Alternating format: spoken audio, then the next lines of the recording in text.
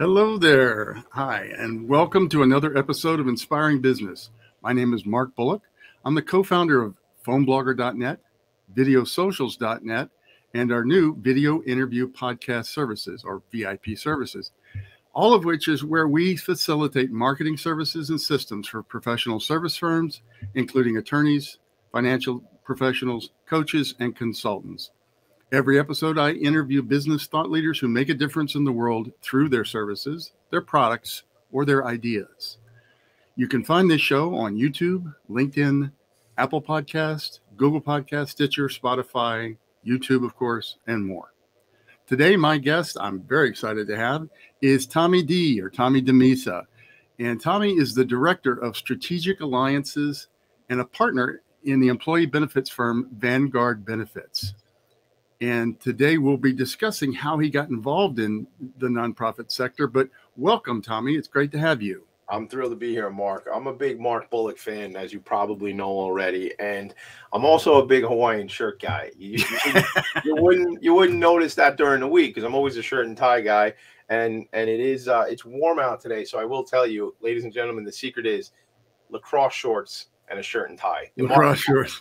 I was even I was even in Dunkin' Donuts earlier this week, and I had Adidas pants on and a shirt and tie. And some guy who I never met before is like, "Bro, bro, I got to take a picture of you." I got so like I'm in the Dunkin' Donuts, and the guy's like, "They, not even a selfie because he wasn't even in it. He just took a picture of me because he had the, you know untucked white shirt, crisp white shirt, tie, and Adidas pants. So that's kind of the style. But I love the Hawaiian shirt. I'm a big fan. I wear on the weekends. I wear kukui nuts and and. Hawaii. You didn't, I don't know if you knew that. I know I, we we talked about Hawaii, but I never lived there. Mm. But I, I, like to mentally go there. I've been there on vacation. I like to mentally go uh-huh. there on the weekend. So I realized with like one or two buttons closed and the kukui nuts that I'm actually mentally on vacation. I'm not, I'm not, at work anymore. But then again, if I look down at the shorts right now, I'm not sure if I'm at work or, or on vacation right this second anyway. But I'm thrilled to be here. I've always been a big fan of yours, all the stuff we've done with video socials. You know, I've been involved with video socials from really, I think, the beginning of what you guys have done there. And I joke Absolutely. about it in terms of I say, you know, video socials have helped me come out of my shell, which is kind of tongue in cheek because I never really needed the help coming out of my shell, but it was more like – I would never go on anybody's podcast or radio show in the past. And now, as we'll probably get into today, I have two, and I shoot videos with you in our group uh, every week at Video Social. So, you know, it's it's kind of funny how we evolve and what a 38, 39 year old man is versus this 44 year old man. It's just a different different, man. I, I, mean, I'll tell you, one of my co-hosts on uh, on one of the shows I do, she had asked me about six years ago to come on her podcast. I said, absolutely not. I don't want to hear my own voice being recorded. now it's all I do, man. So, so it's kind of funny, but that's my way of saying thank you for having me on the show. I'm glad to be here. Well, I couldn't I couldn't be more delighted because I mean you're a poster child for just what you can do once you come out of your shell, right? Because we're we're all in a shell one way or another, right? Relative, so it's, right? It's relatively speaking, it, right? It, it, yeah. Exactly. So you know, in in my case, um, you know, I was a, a president of Toastmasters Club, you know, 35, 40 years ago. So I've got lots of experience speaking in front of a live audience, right? But not on camera until we created video socials. And of course, now I'm, you know, hundreds and hundreds of videos into uh, to doing that but that only came about because I was willing to practice and I was willing to come out of my shell and, and had the support of um, the other members that, that, that, that are involved. So um, terrific. So yeah. I want to transition though because you're a little different than almost anybody else that I'm probably going to be interviewing for my show. Wow. And and wow. and yeah, what that's a good thing. I hope that's a good. I, I think it's I think it's a phenomenal thing, and because inspiring business is about, um, you know, coming from a pur- a place of a purpose coming from you know really expanding and, and, and growing your passion and sharing that with the world and that changes everything. That changes how you market your business. That changes how you interact with your clients. That changes how you how you how you interact with with the people that that you know. And i know that you have a passion that's not just for a specific nonprofit but is for a bunch of different nonprofits. And so i'd love for you to, to talk for a minute about how you became so involved in the nonprofit uh, sector and as how you have now become the nonprofit sector connector well I got to chuckle every time I hear somebody say the nonprofit sector connector because it's a thing I started saying, and then it's a thing now people introduce me as the nonprofit sector connector, which was, as I started saying, it was sort of bold, but I am sort of bold, and and like you said, you know, different than a lot of people. Let me, if I go back, when I go back and try and explain how things all came together for this pretty cool opportunity that I have in, in in this place and time is I go back about seven years ago and I had sat down with my two business partners at the Vanguard agency and, and now now uh, known as Vanguard Benefits. And I knew I knew Ed and Vinny for um, I know them now for about 18, 19 years. So at the time, I guess it was 11 years or something like that. We always talked about, you know, having some level of, of uh, connection and partnership in the business and whatnot. I came, I grew up working at ADP and payroll sales, and I did a lot of work around uh, outsourced HR sales, and always in the sales arena or in the sales profession. Actually, I've probably been selling since I'm four or five years old, you know. And then I was a bartender for a long time, which is is selling as well. Although everybody sort of likes your product, they came into the store looking for it. But but um, it probably doesn't shock you that I, I spent a lot of time uh, in the bar, behind the bar, not behind bars, Mark, but behind a bar. all right. And um, I, I, I did that for a long time, and and then you know, like as I say, worked worked at ADP in the payroll sales. I sat down with Ed and Vinny when we were finally ready to figure out if the timing was right, and we we discussed who are the clients we really like working with, who are the clients we want to serve more, who are the clients that we feel a, a genuine connection to. And I remember it; it was the week between that week between Christmas and New Year's, where it's kind of like a slow week around the world, you know, business wise. So I remember we had like a four hour lunch, which um, I haven't had one of those in a long time, but I used to have four hour lunches where you just kind of sit back and relax. And this particular lunch we talked about, we really appreciate the work the nonprofit sector is doing. So I, I got to tell you though, looking back, I don't even know if we really knew what that all would mean going forward, but we said, let's focus on that let's focus on adding value to this sector. So what I did is I started getting connected to people in the nonprofit sector. I started joining boards. I started getting involved with shout out to my friend Ken Cerini, who's a great guy who founded the Long Island Imagine Awards and now the New York City Imagine Awards. You know, Ken was a guy I looked to as a relationship I wanted to have, meaning he was somebody I mm-hmm. wanted to do business with and have some some sort of alliance with. But he's also a guy that I looked to and said, "This this man is really doing a lot for these nonprofits, I want to watch what he's doing. And I've now, you know, we've been friends for a number of years. I sit on the committee for both the Long Island Imagine Awards and and the uh, the newest New York City Imagine Awards, and those are awards programs uh, recognizing the sector. But kind of back to the Vanguard story, I started joining boards. I started looking at people who were supporting the sector. I started learning about the sector, um, and my partner Ed actually sits on the board of several nonprofits as well. He's actually the president of the Bayside Business Association in Bayside, Queens, where I sit on the board. So again, same thing. We're very involved. Um, I'm, you know, I'm finishing up my work with uh, back. I say I go to school on Thursday nights, but I'm in class with the Institute for Nonprofit Practice. So it all kind of spun around, and I continue to get deeper involved in the work that nonprofits are doing. Mark, I don't even know if you realize this, but 36,000 nonprofits operate in the five boroughs of New York City. 36,000. Yeah. Employing 600,000 people. Like insane. That's just the five boroughs of the city, right? So when I joke about it and I say like, is the nonprofit sector important? Yes, it's integral. It is. It is a part of everything we do.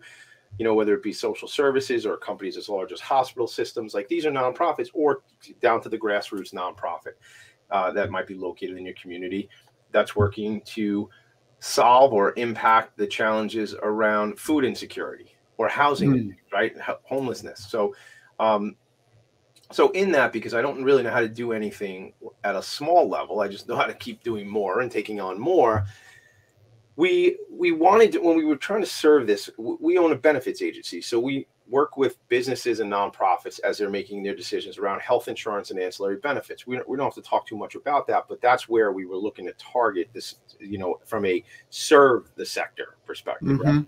And then that kind of transitioned into, you know, a lot of what I do myself by getting out there. I do days of service for nonprofits. Um, I, as I say, I sit on boards. I've been involved with some fundraising efforts. And uh, it, it really comes down to the fact that I, I had this idea where I said, Are you familiar with Gary V? Gary Vaynerchuk? Yeah, yeah. Yeah. Absolutely. So Gary V, eh, if you listen to Gary V, and anybody out there listening to us listens to Gary V, they know he says things like, if you're passionate about a certain subject matter, you know, build content around it. Do that. So for two years, I walked around and I said, I have this radio show. It never, I didn't have it yet, but I had it in my head. It was called Philanthropy in Phocus, and Focus was spelled with a P H O C U S, and it still is spelled that way. Uh, but in my mind, it was only that. It was a, it was an idea for a program that didn't exist. And then um, January 8th of 2021, Philanthropy and Phocus became a thing. And it became another way for me to serve the sector, serve the sector that I'm really focused on and passionate about. And it was a way in which I could say, every week, I will bring on an executive leader of a nonprofit to help them do two things tell their story and amplify their message. And that's what I do every week. It's another nonprofit. I just got a, an email earlier from a woman who says, what, what do I need to do to get on your show? I want to come on and tell the story of my organization. Um, and it's pretty easy. We just got to talk to Tommy, and I talk to him all day. In fact, I can't get rid of him. Every time I turn around, he's right there again. So I can get a meeting with him. So Roberta will talk. I'll, I'll hook the whole thing up. But the idea is um, I feel so passionate about the work done by these organizations that I want to help them get out there and tell their story, whether it be those who serve the mental health space, which is incredibly important to me, those who serve the intellectually and developmentally disabled, which is incredibly important to me, uh, to those who are in the social justice conversation, which is, again, incredibly important. And I've been inspired by meeting so many leaders of nonprofits that I just continue to learn and I know this, Mark, and I'm, and you you probably agree, but as I get older, I realize how little I know every single day. Where you know that thing in your 20s, maybe you thought you knew everything, and real I you know, and I have children that are uh, 12, 11, uh, 9, and 7, and they know everything. So it'll take them a couple of years to realize they know nothing. and it's funny. There was um quite quite a few more than a few years. yeah, again, I, I, mean, I've only figured out for like the last six months I don't know anything. Before that, I, up until like 43 and a half, I knew it all. No, I, I, I, you know, there is so much out there that we're we're not aware of, and and I just want to continue to grow. And I remember I'll tell you a quick story, and then I know you probably have a question or two for me because I hear my hear a lot of my voice. But again, I'm it, you know on my show I try not to hear as much of my voice, but this is your show, so I guess I'm the guy who's supposed to talk. Yeah, yeah. Um, yeah. So I, I, just I remember I met this man. I, I was selling payroll at the time, and he was an attorney, might still be an attorney. This is a number of years ago, and I was in um, Richmond Hill, Queens. Um, if you're listening internationally, Queens is uh, one of the boroughs of New York City. But I was out there and I said, uh, I'm talking to this man. He goes, You know what scares me, Tommy? He goes, There's so much I want to do. There's so much I want to learn. He goes, It scares me that I might not get to do it all. And I said, Wow, what a what a thing. You know, he wasn't a, he wasn't of, of poor, of poor health. He wasn't sick. He just knew he had limited time to do it all. So I have, and I don't know if it's a if it's a, a, tip of the hat to this man or not. But I always say, look, at this point in my life, I, I'm pretty confident I got 50 years left. And it's right. what am I going to do in these 50 years to make an impact, to add value, and to have some level of legacy. And uh, I met, um, oh God, his name just escaped me, but he's written all these books. John, um, oh God, I'll think of it before the end, but he's written like 97 books. And I met him up in Utica, New York, and he's very well known for for writing books on professional development and and um, kind of the growth and, and motivation. John C. Maxwell, perhaps? John Maxwell, Dr. Maxwell. I met Dr. Maxwell. Thank you. I met Dr. Maxwell, and at the time he'd written like 97 books, and this is like 10 years ago, so he's probably written 200 books. But he's funny because I met him. We had a nice conversation, and he said, you know, every day you got to ask yourself, how am I going to make an impact? Right? How am I going to add value? And that's what I try to do, Mark, is I try to figure that out. You know, I'm not saying every day is great and every day is perfect. It's certainly not, but it's about that. And I, you know, you're familiar with when they talk about what what do you want them to say at your wake? Yeah, mm-hmm. of course. Yeah. So I think about that. I think about that not all the time, but I think about that in terms I want to go, he's a good guy. He had a value. He took care of people. He did the right thing. He tried to help people out. Because if to say he, you know, I'd love him to say he had great hair. Now, if you're only listening to this, you're not seeing that, but I do have great hair. but but I, I would like, you know, I'd like them to say that, but I'd like really them to say like people were better off for having known this guy. And that's and maybe that sounds like like a little bit egotistical, and maybe it is, but uh, the idea is I would want them to know like that people were left better because of it. You know, they there's this old adage about you know leave things better than the way you found them and things like that.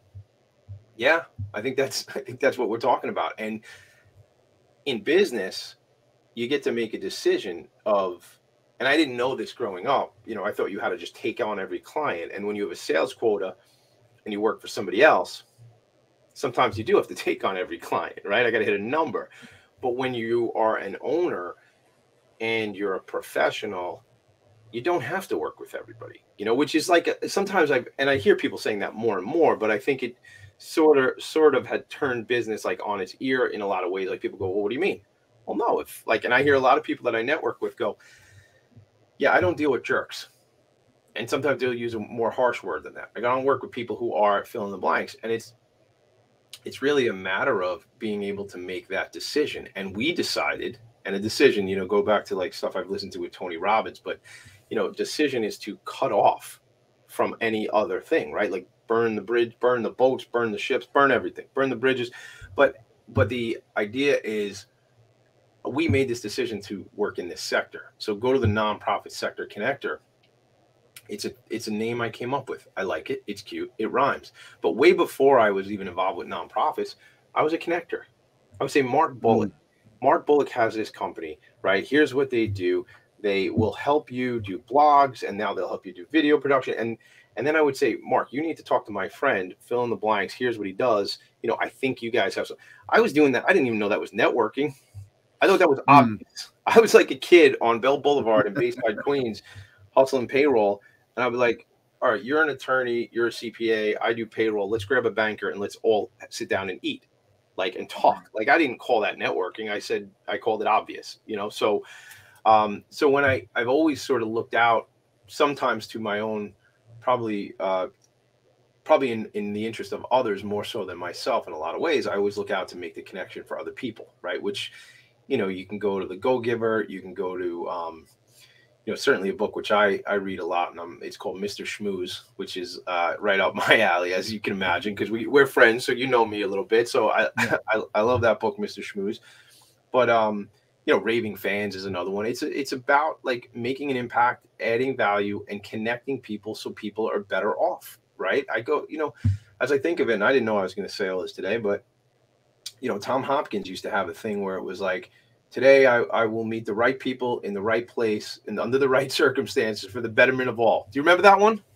I, I, I, what's what's fascinating to me, Tommy, is it's like you know you're literally giving me the laundry list of all the books that I've read and all the authors that, that I've paid attention to over the last thirty years. What, so that's why uh, we're together. That's why we're here doing this together, right? This is the law of attraction. You want to talk about yeah. another one, but this is us because there's this there's this uh, energetic situation going on in a conversation like this, and you and I know each other, you know, through video socials, and and I see you every Friday.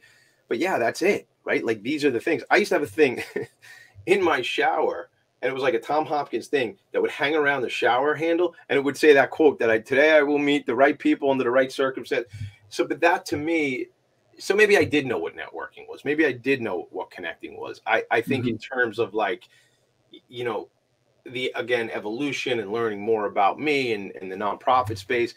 Now i just kind of not that i was using my powers for bad but now i use them for extra good. You know like i'll give you an example if you want an example. Obviously i'm just sure. I'm just going to keep talking. If i'd love to i'd love to give you an opening at some point to get back into this conversation but I, I promise i will. But i'll give you an example. Um, i sit on the board of an organization called horse ability which is out here on long island and they do equine therapy and hippotherapy with horses for uh, uh, veterans, people experiencing PTSD, and especially, which is really a, a, special place for me, is individuals with intellectual and developmental disabilities. The vernacular now, IDD, is uh, how we refer to that group, that that, um, that population. And I sit on the board, and I was talking to my friend who's the executive director, and one of the things she needed was uh, a CRM a customer relationship, client relationship management tool. And the big one is is Salesforce.com, as many of us know. And I have another friend who runs an organization called the Book Fairies. And I had ju- again out here in Long Island, and I had just had a conversation with my friend at the Book Fairies about what an incredibly uh, what an incredible transition they had made by implementing salesforce.com for a lot of their processes saving time streamlining increasing efficiencies etc so what did i do? We the three of us jumped on a call and it was an hour long call just for them to connect and learn about this you know how this program impacted. And it was all giving by my friend eileen from the book fairies to teach my friends at horseability about this incredible situation. And that's what the nonprofit sector connector is. That's it. That's the thing. That's the i would do that all the time and i do do that all the time i said do do but I, I would do that all the time like and i like i loved doing that when it would be you know your partner Vic and like somebody who runs an attorney association, right? I would bring them together. It makes sense. It's like to me that stuff. I don't want to say it's instinctual, but to me those things just were glaring.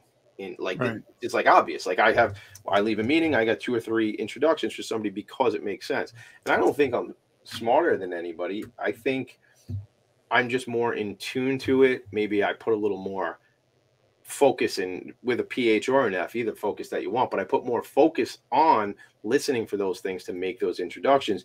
And then you bring it, you, you it or you bring it, but you bring it to the nonprofit sector.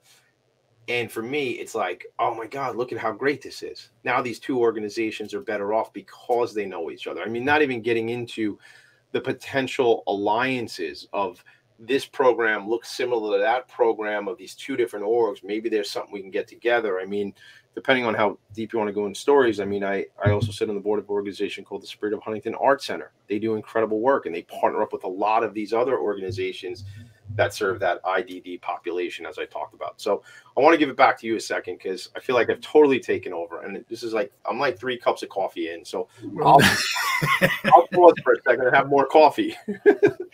well, you know, the the thing that I get, uh, first of all, thank you, um, and and I'm I'm happy just to let you go because who you be, yeah, is a connector, right? right? You're you're you're you're connecting you're connecting people, and and I think, and, and I'm going to ask you in a minute. I don't want you to answer yet, but I'm going to ask you in a minute. You know how that translates into now you have two radio shows. Yeah but you know what what you're doing with that, and we know that it's going to have to do with connecting as well as as as exposure. Um, but you hit a you you had a couple of words in in uh, as you were talking that really struck me. Uh, one is being of service, right? So, and, and the the thing that I feel about you is that whomever you meet, whomever you're working with, whomever you're connecting, you're being of service to them, right? So it's really of a mindset. So not only who you be as a connector, who you be is somebody who is of service to others. Yeah. Right?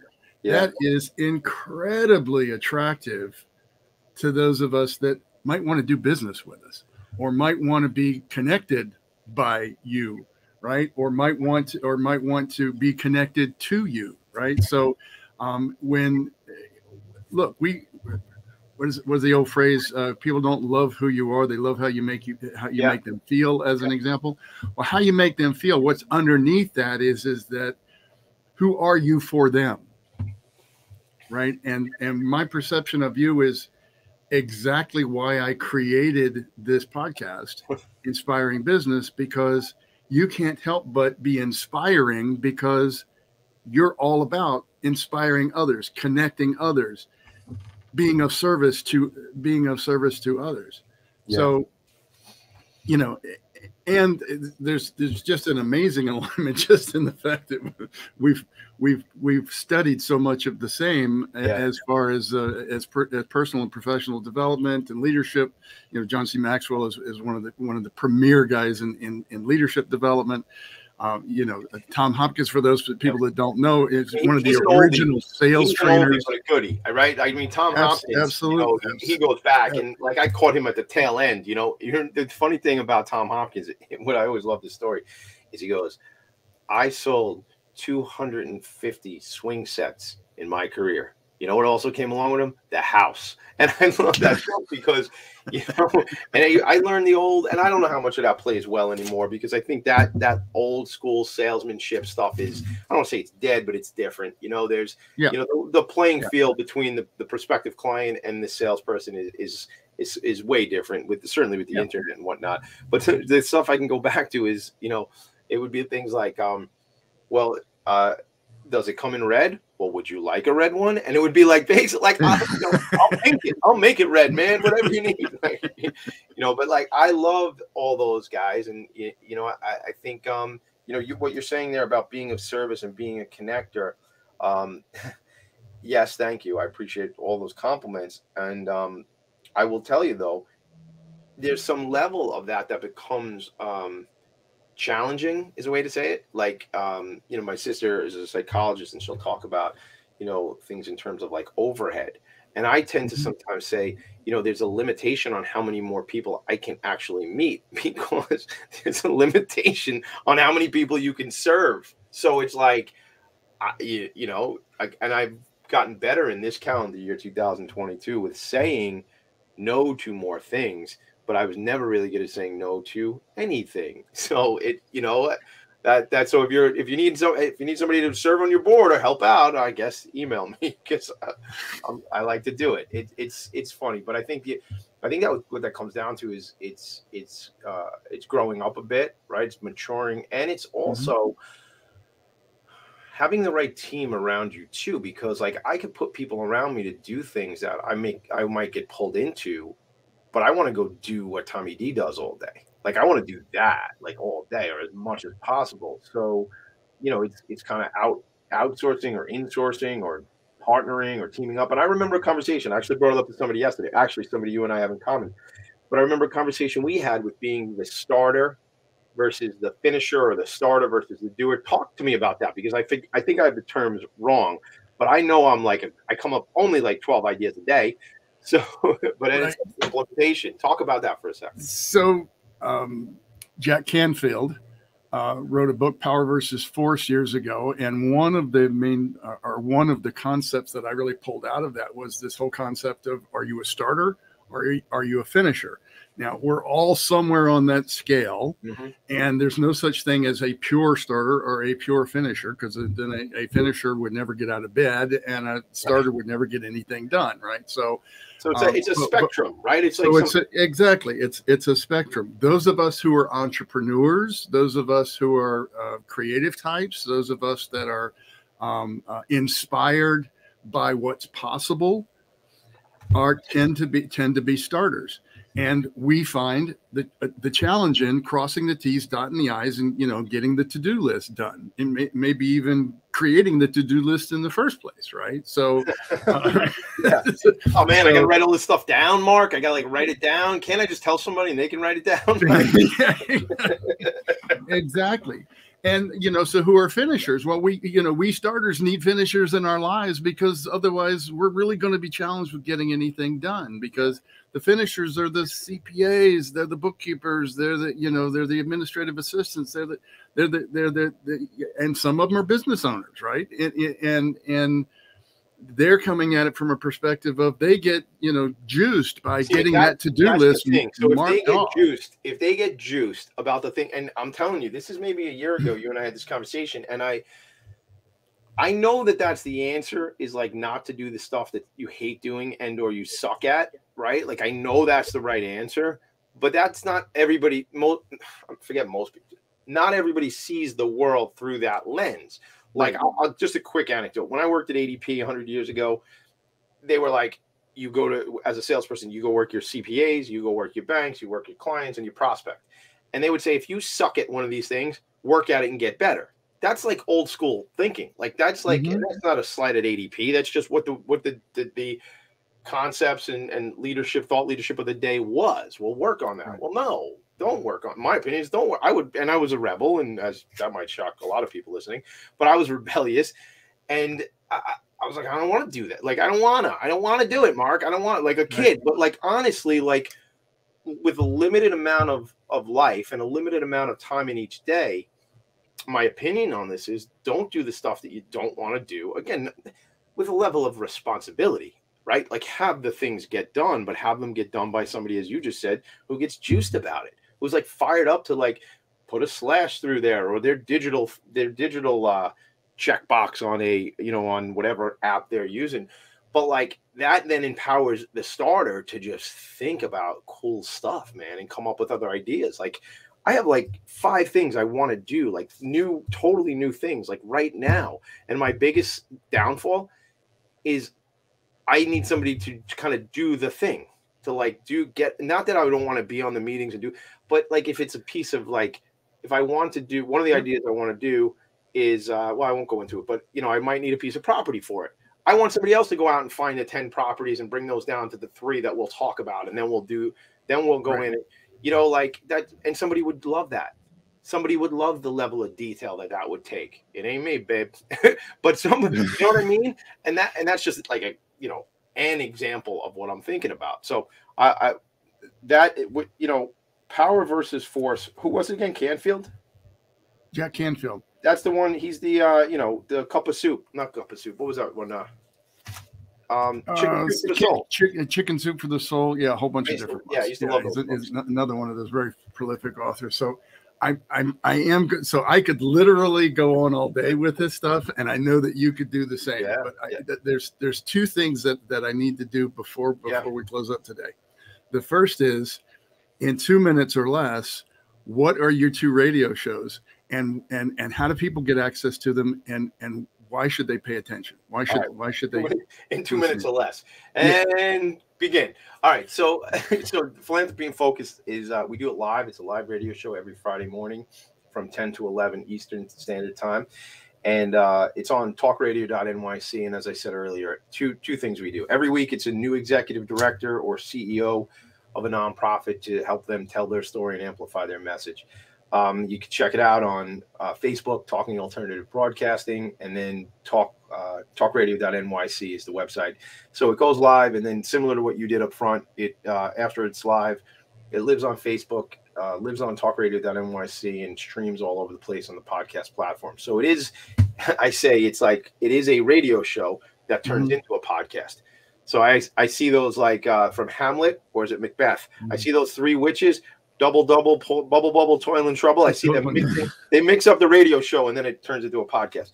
But then, uh, funny or ironically, I'm doing that show for like six or seven months. My friend Valerie Heffron, who you should know, we'll talk about her in a second, but um, an incredible animal advocate, asked me, as I mentioned earlier, to come on her podcast years ago, and I said absolutely not. And I said I don't want to mm-hmm. do it. I don't want to hear my own voice. Or, and I think what it was back then was I was more concerned, like I would say things and they would be the wrong things.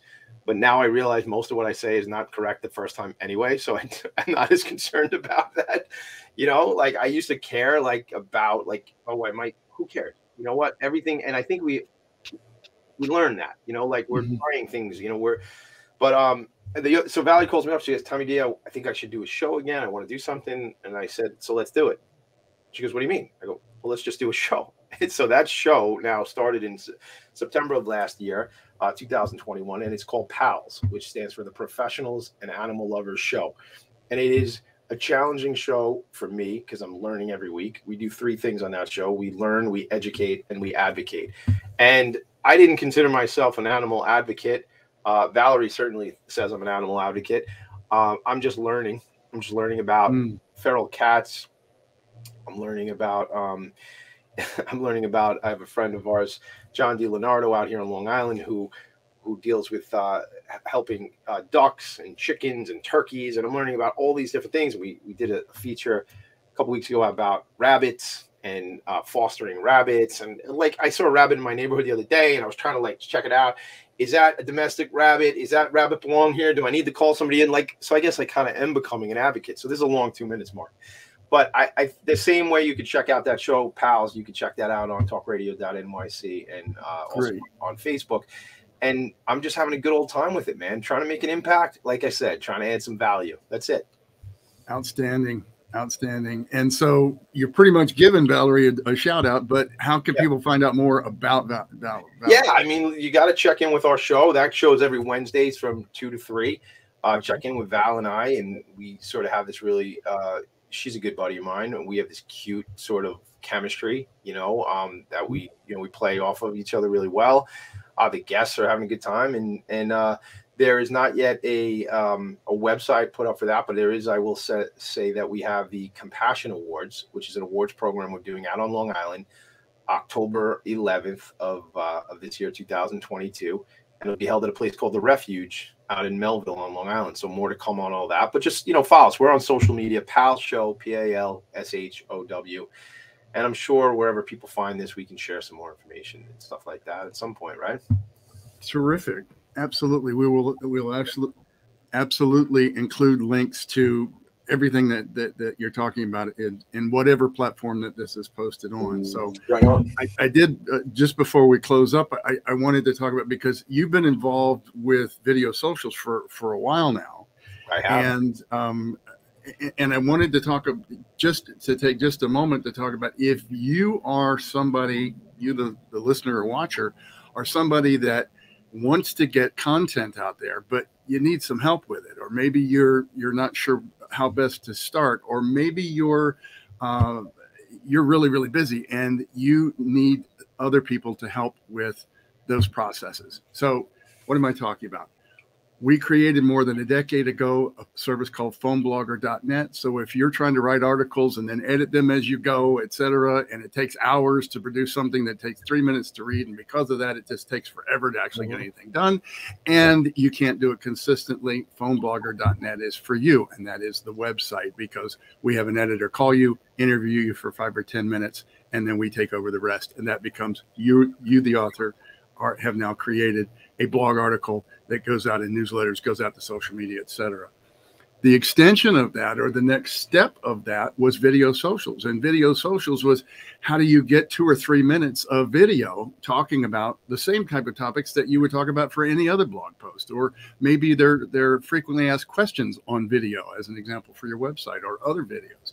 So video socials is exactly that. It is a place where we get together five, ten people at a time in meetings on a regular basis and we take turns recording videos and we give each other feedback.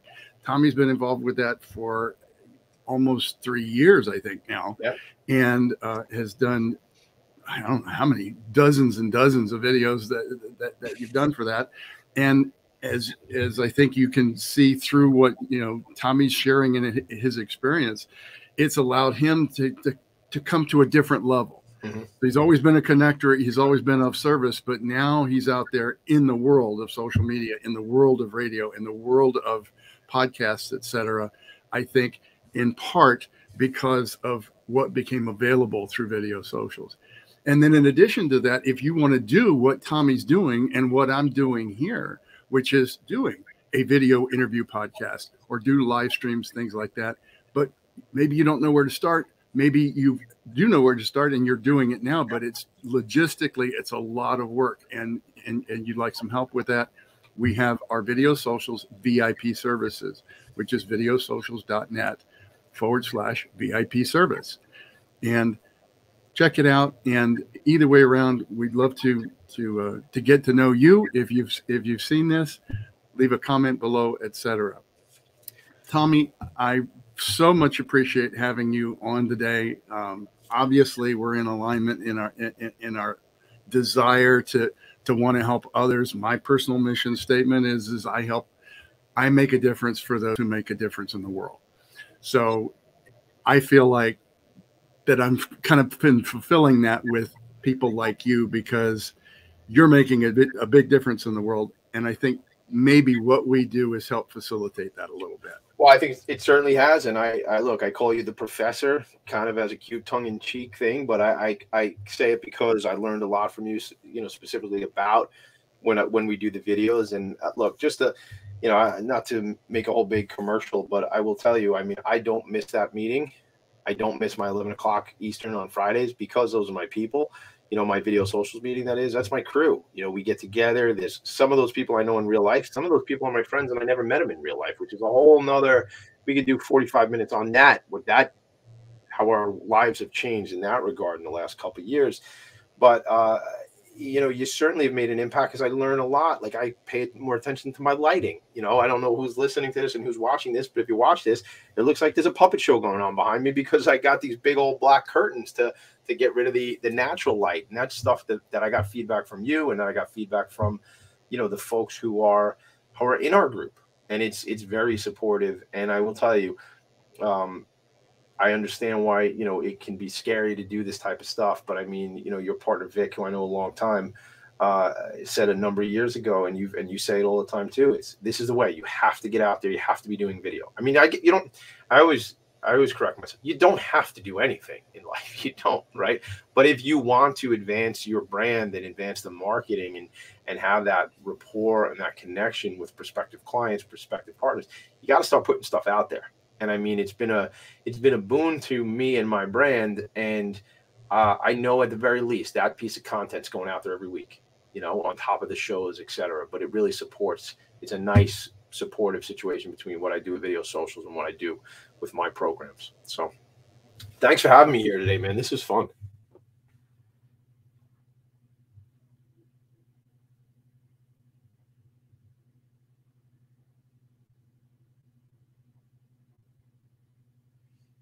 Out, out freeze on my screen. All right. I appreciate this, Mark. Right. Thanks so much. Thank you, man. You have a great one, and uh, all the links we'll have links uh, uh, tied with these uh, uh, where they're posted out there with uh, your your two radio shows and, and your nonprofit sector connector. Awesome. Very cool. Thanks, man. Talk Take to you care, soon. buddy.